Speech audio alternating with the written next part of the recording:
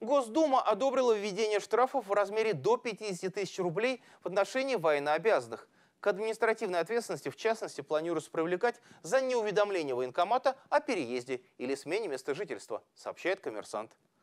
Напомним, что за подобные правонарушения сейчас надо уплатить от 500 до 3000 рублей. Теперь же поправками вводится штраф в сумме от 10 до 20 тысяч рублей за неуведомление военкомата об изменении семейного положения, о получении образования, о переезде, смене места учебы, а также должности или места пребывания – а за неявку без уважительной причины в указанной в повестке время и место накажут штрафом в сумме от 40 до 50 тысяч рублей, за уклонение от медобследования до 25 тысяч, а за умышленную порчу или утрату документа воинского учета штраф составит сумму до 25 тысяч рублей.